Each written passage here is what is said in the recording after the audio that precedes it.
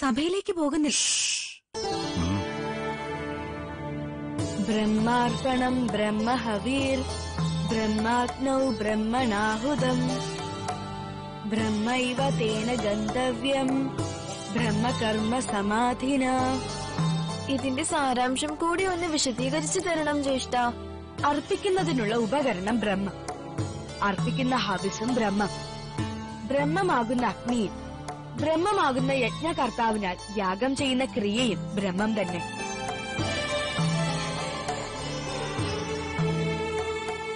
ഏറെക്കാലത്തിനു ശേഷം പൂർണ ആരോഗ്യവാനായി തിരുമനസ്സുകൊണ്ട് സഭയിൽ വരുന്നതല്ലേ? ഈ സന്തോഷം നമുക്ക് ആഘോഷമായി കൊണ്ടാടണം. വേണം. സഭ പിരിഞ്ഞാൽ കലാപരിപാടികളും വിശേഷാൽ സദ്യയും ഒക്കെ ഉണ്ടാവണം. ആ. ഇപ്പോഴത്തെ സാഹചര്യത്തിൽ തിരുമനസിന് അതൊന്നും ഇഷ്ടമാകുമെന്ന് തോന്നുന്നില്ല. ചില കാര്യങ്ങളിൽ രാജഹിതം മാത്രമല്ല. പ്രജാഹിതവും നോക്കണം. രാജാവിന്റെ ആരോഗ്യം പുഷ്ടിപ്പെട്ടത് ആഘോഷിക്കാൻ പ്രജകൾക്കും അവകാശമുണ്ട്. അതൊക്കെ രാജാവും കുടുംബാംഗങ്ങളും തീരുമാനിക്കട്ടെ. നേരം ഇത്രയായിട്ടും തിരുമനസിനെ കാണുന്നില്ലല്ലോ. ഇനി തിരുമനസിന് പെട്ടെന്നുമല്ല ശീലായ്മയും പിടിപെട്ട് കാണൂ എന്തായാലും അന്വേഷിക്കണ്ടേ?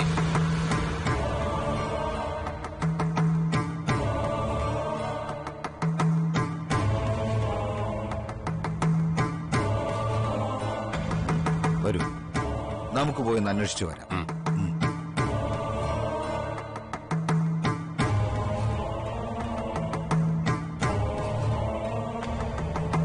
കായേന വാച മനസേന്ദ്രിയർവ ബുദ്ധ്യാത്മനാവ പ്രകൃതിയെ സ്വഭാവാൽ.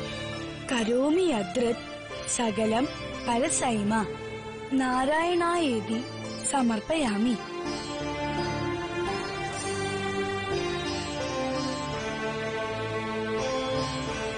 മനസ്സുകൊണ്ടും പ്രവൃത്തി കൊണ്ടും ഈയുള്ളവന് സംഭവിച്ച എല്ലാ പിഴകളും ഓർത്ത് ജഗന്നാഥനായ നാരായണൻ മാപ്പ് തന്ന് അനുഗ്രഹിക്കണം. മനസ്സിലായോ? പ്രണാമം തിരുമനസ് നാം സഭയിലേക്ക് പോകാൻ വന്നതാണ്. കുമാരന്റെ വാഗ്ധോരണി കേട്ട് അറിയാതെ നിന്നുപോയി. അടിയൻ സഭയിൽ നിന്ന് തിരുമനസിനെ തേടി വന്നതാണ്. മണികണ്ഠകുമാറിന്റെ ഗുരുനാഥ പ്രകടനം കണ്ട് നിന്നുപോയി.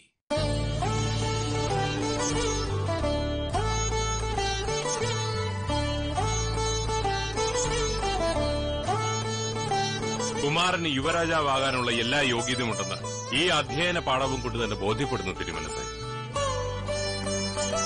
പ്രണാമം തിരുമനസ് ഉം. വേദങ്ങളിലും ശാസ്ത്രങ്ങളിലുമുള്ള അറിവ് മാത്രമാണോ ഒരു ഭരണാധിപന് വേണ്ട യോഗ്യത? പിന്നെ എന്ത് യോഗ്യതയാണ് മന്ത്രി ഉദ്ദേശിക്കുന്നത്. സേനാധിപനായ കുമാരവർമ്മൻ ഇത്തരം ബാലിശമായ ചോദ്യങ്ങൾ ചോദിക്കരുത്. മന്ത്രി എന്താണ് ഉദ്ദേശിച്ചതെന്ന് വിശദീകരിക്കും. അതായത് നാം ഉദ്ദേശിച്ച വിശദീകരിക്കാൻ ഒന്നുമില്ല തിരുമനസെ നമ്മുടെ സീമന്തപുത്രനായ മണികണ്ഠനോട് മന്ത്രിക്കുള്ള അടങ്ങാത്ത പകയും വിദ്വേഷവുമാണ് മന്ത്രിയുടെ വാക്കുകളിൽ. അരുതമ്മേ മന്ത്രിയെ തെറ്റിദ്ധരിക്കരുത്. ആയോധന കലയിലുള്ള പ്രാവീണ്യം ഒരു ഭരണാധിപന് അത്യന്താപേക്ഷിതമാണ്. അതെനിക്ക് ഇല്ലല്ലോ. അതാണ് മന്ത്രി ഉദ്ദേശിച്ചത്. അതെ അത് മാത്രമേ അടിയൻ ഉദ്ദേശിച്ചുള്ളൂ. സഭയിലേക്ക് പോകാം.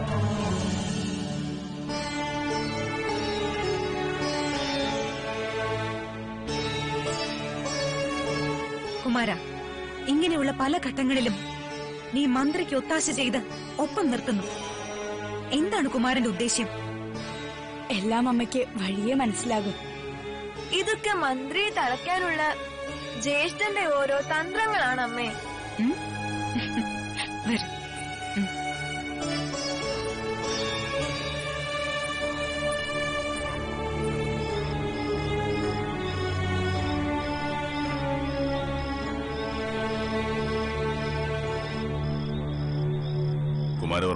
കൽപ്പിച്ചാൽ മണികണ്ഠന് ആയോധനകളുടെ വശമില്ലെന്ന് ന്യൂനത ചൂണ്ടിക്കാട്ടി. മന്ത്രി ശരിക്കും പരിഹസിക്കുന്നുണ്ടല്ലോ.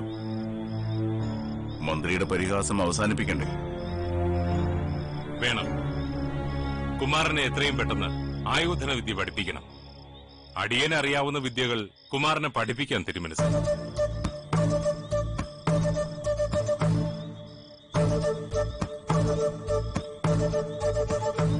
അത് വേണ്ട കുമാരവർമ്മൻ രാജാവ് തന്റെ ഗുരുനാഥനെ ദൈവമായി കാണണമെന്നാണ് ശാസ്ത്രവിധി.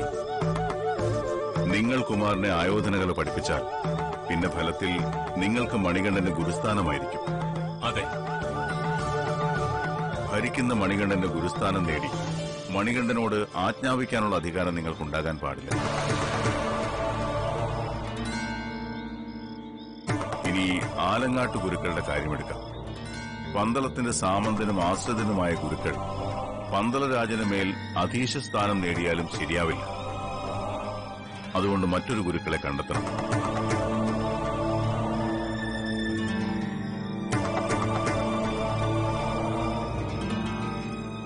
പിതാവേ ആയോധന കല പഠിക്കാനാണെങ്കിൽ എനിക്ക് ചീരപ്പഞ്ചിറ ഗുരുക്കളുടെ ശിഷ്യനാകാനാണ് ആഗ്രഹം.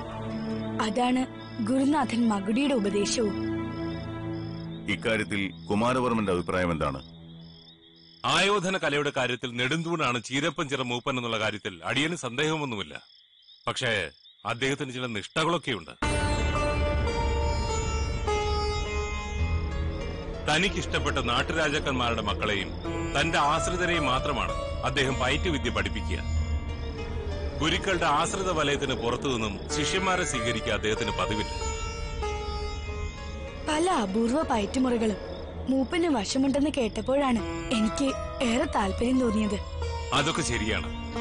പക്ഷേ പൂഴിക്കടകൻ പോലെയുള്ള മുറകളൊക്കെ അദ്ദേഹം സ്വന്തം അനന്തരാവകാശികളെ മാത്രമേ പഠിപ്പിക്കാറുള്ളൂ.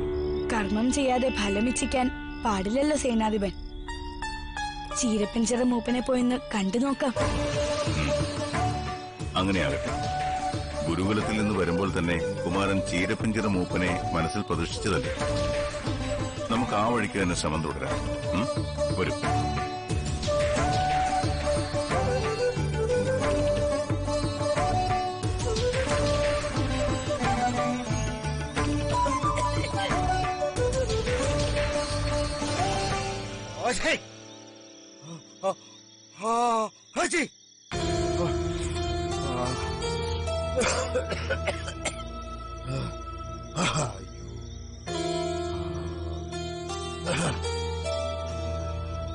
ഇത് തുളസിയിലെ കഷായമാണ്. ഇത് കഴിച്ചാൽ പനിയൊക്കെ വിട്ടുമാറും. കഴിച്ചാലും. പിന്നെ തുളസിയില കഷായം. എനിക്ക് പനിയൊന്നും പനിയൊന്നൊരു വിഷയമല്ല ദമയന്തി.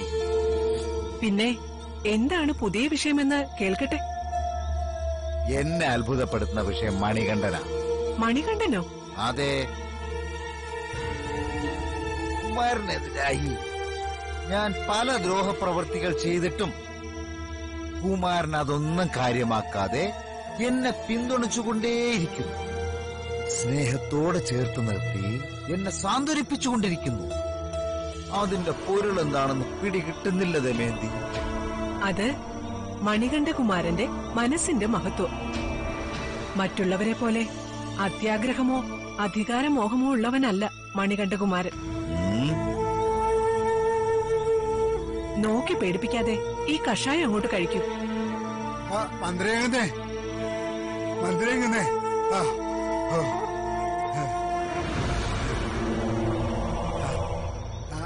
ആ, ആ. പനിക്ക് പനി കൂർക്ക കഷായം. അത്യുത്തമം ആ, ആ. ഇതാകുന്നേ. ആ, ആ, അവിടെ നിന്നാ മതി അവിടെ നിന്നാ മതി. നീ എന്താ സമയത്ത് ഇവിടെ? അതെ. മന്ത്രി എങ്ങുന്നതിന് ദീനമാണെന്ന് കൊട്ടാരൻ സേവകനിൽ നിന്ന് അടിയൻ അറിഞ്ഞു. ആ അങ്ങന്നിന് സേവിക്കാനുള്ള കൂർക്കാ കഷായവും ഉണ്ടാക്കിക്കൊണ്ടാണ് അടിയൻ വന്നിരിക്കുന്നത്. ആ ഇതാ കഴിച്ചു നോക്കണം. എനിക്ക് ദീനമൊന്നുമില്ല. നിങ്ങളുടെ കഷായവും ആവശ്യമില്ല. കള്ളം പറയരുത് അങ്ങനെ ഒരു രോഗിയെ കണ്ടാൽ തിരിച്ചറിയാതിരിക്കാനായിട്ട് എനിക്ക് ഭ്രാന്തൊന്നുമില്ല. ആ ആ. ഏ, ഏ, ഏ. നാട് വാഴുന്ന പൊന്നുതമ്പുരാനെ ചികിത്സിക്കുന്ന രാജവൈദ്യന്റെ മരുന്ന് നിരസിക്കാതിരിക്കുക അങ്ങനെ. ഹാ, കുടിക്കാൻ പറ രമേന്തി കൊച്ചമ്മേ. അയ്യോ മരുന്നൊന്നും വേണ്ട. നിങ്ങൾ പുറത്തു പോണം വൈദ്യരെ. ഇല്ല. ഏ മന്ത്രി അങ്ങ് നിന്നെ മരുന്ന് കുടിപ്പിച്ചിട്ട് അടിയെ എവിടുന്ന് പോകും? വേണ്ട എനിക്ക് പനിയില്ല. ഓടിക്കോ ഓടിക്കോ.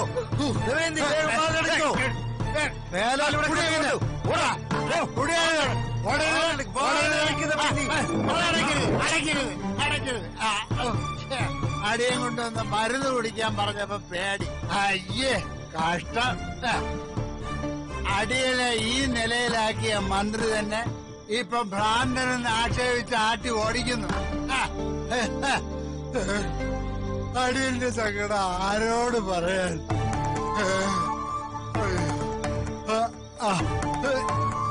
മരുന്ന് വേണ്ടെങ്കിൽ വേണ്ട. അടിയൻ തെറ്റ് ചെയ്തു. മാപ്പാക്കണം. അടിയൻ തെറ്റ് ചെയ്തു.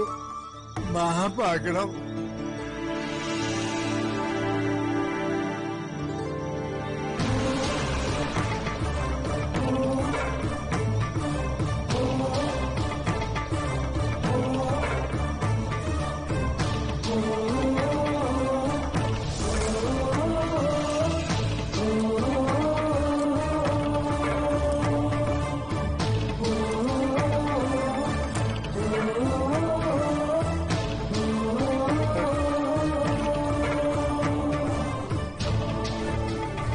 വൈദ്യരെ എന്തോ? ഞാൻ ഉണ്ടാക്കിയ ഈ മരുന്നിന്റെ ഗന്ധം ശ്വസിച്ചപ്പോൾ വൈദ്യർക്കിപ്പോൾ മനഃശാന്തി അനുഭവപ്പെടുന്നില്ലേ? അടിയൻ. ചില വിശേഷപ്പെട്ട ഔഷധക്കൂട്ടുകളുടെ ഗന്ധം ശ്വസിച്ചാൽ മതി. രോഗിക്ക് അസുഖം പകുതി വിട്ടുമാറുന്നു ശരിയല്ലേ വൈദ്യരെ? ശരിയാണ് കുമാര. ആട്ടെ വൈദ്യരുണ്ടാക്കിയ വിഷമരുന്നാണല്ലോ പിതാവ് സേവിച്ചുകൊണ്ടിരുന്നത്. ആ മരുന്നിന് എന്തെങ്കിലും പ്രതിവിഷമരുന്നുണ്ടോ വൈദ്യരെ? അടിയന്റെ അറിവിൽ അങ്ങനെ ഒരു പ്രതിവിഷ മരുന്നില്ല കുമാര. പ്രതിവിഷ മരുന്ന് ഇല്ലെന്നോ? അപ്പോൾ ഒരു പരിഹാരവുമില്ലാത്ത പാതകമാണ് വൈദ്യർ ചെയ്തുകൊണ്ടിരുന്നത്.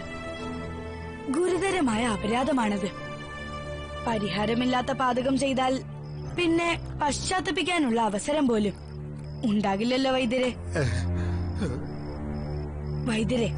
കൽപ്പിച്ചാലും കുമാര കൽപ്പന അല്ല വൈദ്യരെ. അനുകമ്പാപൂർവമായ ഉപദേശമാണ്. ദൈവത്തെ മാറ്റി നിർത്തിയാൽ രോഗിക്ക് വൈദ്യൻ ഈശ്വരതുല്യനാണ്.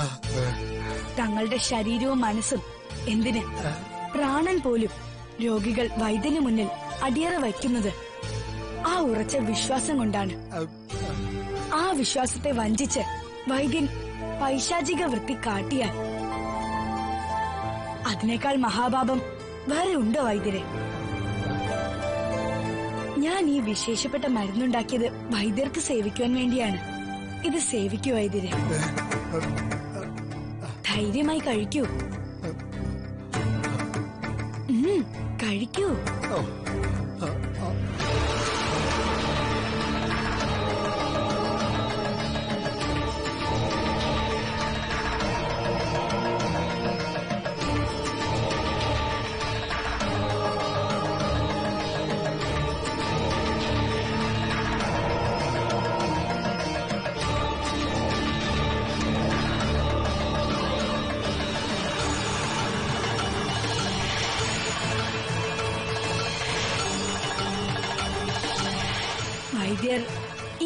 കഴിച്ചത് എന്തുകൊണ്ടാണ്?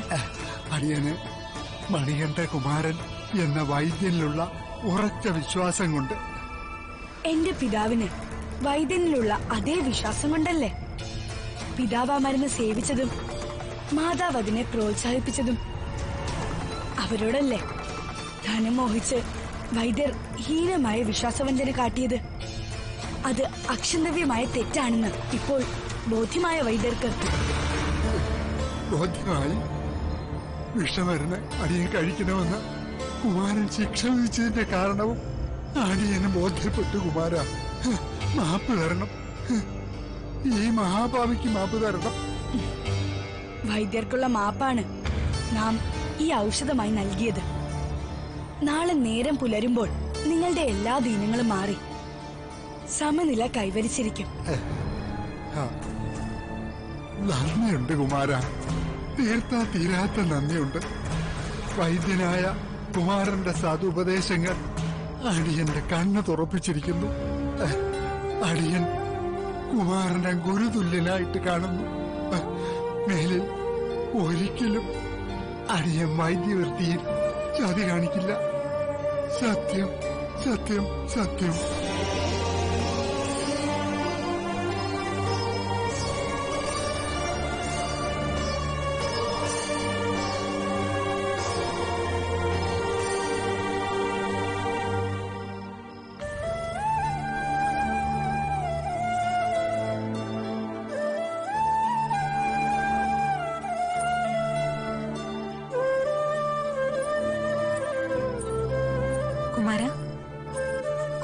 ഇതുവരെ ഉറങ്ങിയില്ലേ?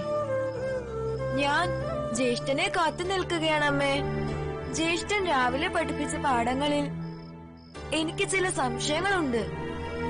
ജ്യേഷ്ഠൻ വന്ന് സംശയ നിവർത്തി വരുത്തിയിട്ട് കിടക്കാമെന്ന് വിചാരിച്ചു. അപ്പോൾ പുറത്തുപോയ കുമാരൻ ഇതുവരെ വന്നില്ലേ? ഇല്ല. അതിരാവിലെ പോയതല്ലേ ജ്യേഷ്ഠൻ? തിരികെ വരാൻ വൈകുന്നതെന്താ? കൊട്ടാരത്തിന് ശത്രുക്കൾ വർദ്ധിച്ചു വരുന്ന കാലമാണിത്. കൊട്ടാരത്തിന്റെ അകത്തു വരെ കടന്നു കയറി രാജാവിനെ ആക്രമിച്ച കൂട്ടർ ഇന്നും കറങ്ങി നടക്കുന്നുണ്ടാവും. അപ്പോൾ പിന്നെ കൊട്ടാരത്തിന് പുറത്ത് കുമാരന് എന്ത് സുരക്ഷയാണ് ഉണ്ടാവുക? കുമാരനെ കണ്ടുപിടിച്ച് കൂട്ടിക്കൊണ്ടുവരണമെന്ന് രാജാവിനെ അറിയിക്കുക തന്നെ.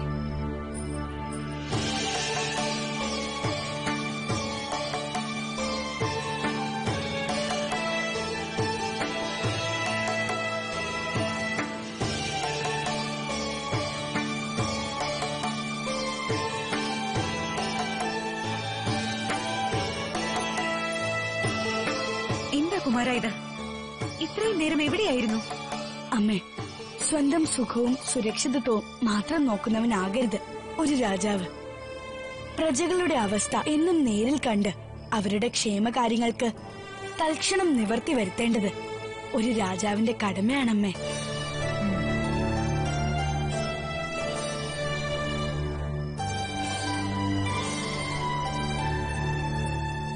തിരുമനസേ സ്വന്തം രക്ഷ നോക്കാതെ അസമയത്ത് കുമാരൻ ഇങ്ങനെ കറങ്ങി നടക്കുന്നത് നമുക്കിഷ്ടമല്ല. അത് ഒഴിവാക്കണം. കുമാരനെ അക്കാര്യത്തിൽ നിയന്ത്രിക്കുക തന്നെ വേണം തിരുമനസെ.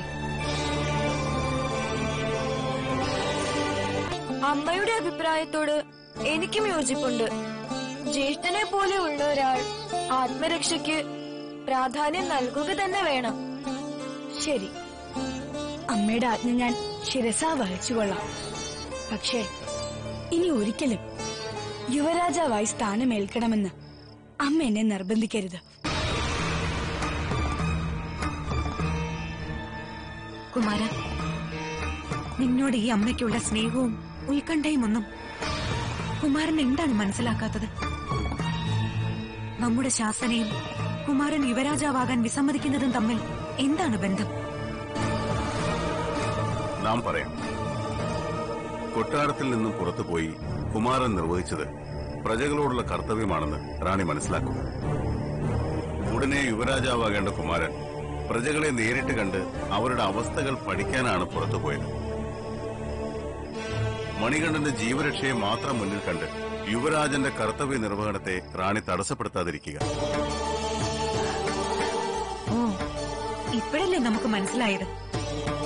യുവരാജാവാകാൻ പോകുന്നതിന് മുൻപുള്ള തയ്യാറെടുപ്പാണ് കുമാരന്റെ രാത്രി സഞ്ചാരം. അതെ. കുമാരന്റെ രാത്രി സഞ്ചാരം ഒരു പതിവായി തന്നെ തുടർന്നോട്ടെ. യുവരാജാവാകാനുള്ള പരിശീലനം പരമാവധി നടക്കട്ടെ. എന്താ?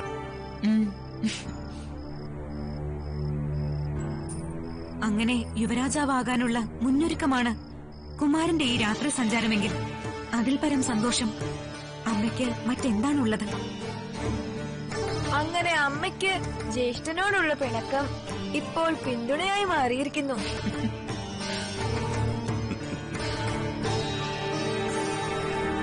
ഇനി എന്റെ സംശയ നിവർത്തി വരുത്തണം ജ്യേഷ്ഠ.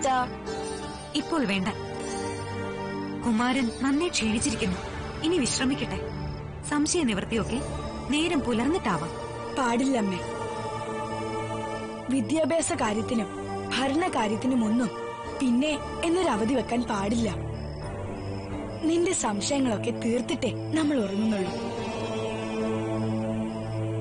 കുമാറിന്റെ ഈ കാര്യക്ഷമതയും പക്വതയും ഒരു ഭരണാധിപനും അധ്യാപകനും ഒരുപോലെ ഇണങ്ങുന്നതാണ്. അതിൽ ഞങ്ങൾ മാതാപിതാക്കൾ ഏറെ അഭിമാനിക്കുന്നു. സംശയ നിവാരണം നടക്കട്ടെ.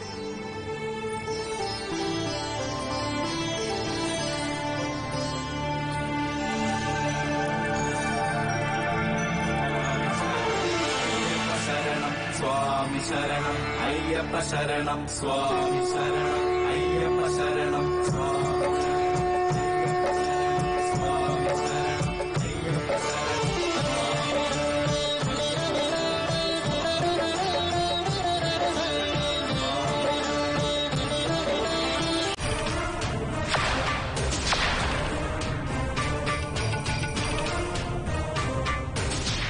ഉള്ളൊരുക്കി പ്രാർത്ഥിച്ച് അവരെ സ്വാധീനത്തിലാക്കി.